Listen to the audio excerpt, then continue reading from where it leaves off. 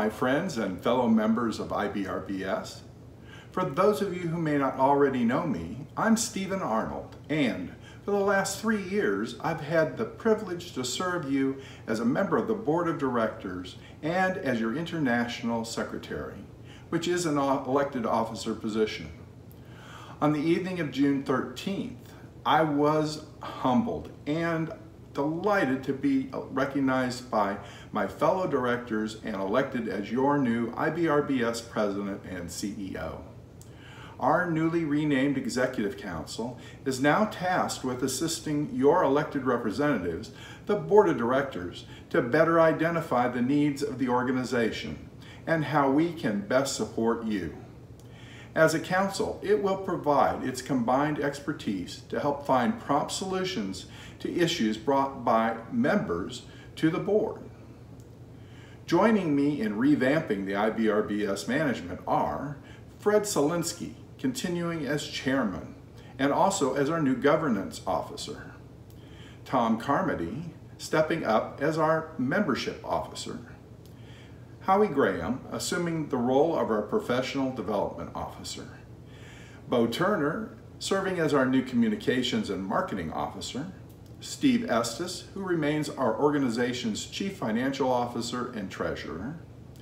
Deanna Golden, taking over my position previously as International Secretary, and Fred Luck, our Chief Informational Officer.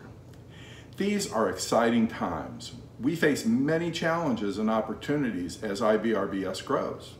As an all-volunteer organization, the sheer size of it creates the need for better planning and follow-through to remain effective and professional. As you may know, an exciting proposal to revamp our current bylaws and reorganize the management structure has been released for voting by our members.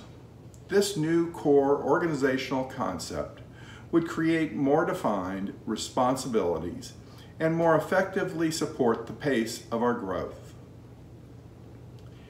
Additionally, the proposed bylaws changes reflect your request to us to fashion a more inclusive organization, allowing Christmas performers of all kinds to be included and to enjoy the many benefits that we offer.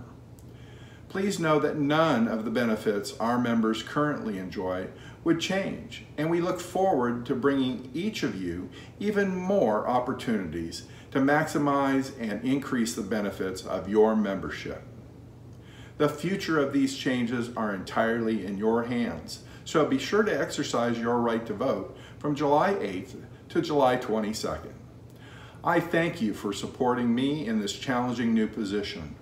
Our previous president, Bob Elkin, set the bar high. I commit to you now to do the very best for each of you. I truly feel blessed to have the opportunity to serve you in this new capacity. With your help, IBRBS will continue to be the premier Christmas organization, and I look forward to welcoming even more within our membership. IBRBS has grown larger and stronger through the many new affiliated chapters of our organization. We can truly make a difference when we join together. I encourage you to reach out to our closest IBRBS chapter or group or perhaps informing one if none exists in your area. I hope to hear from each of you and discuss your suggestions and concerns and learn how best to serve you. Please become involved wherever you can. We can use your help and possibly your specific skill sets.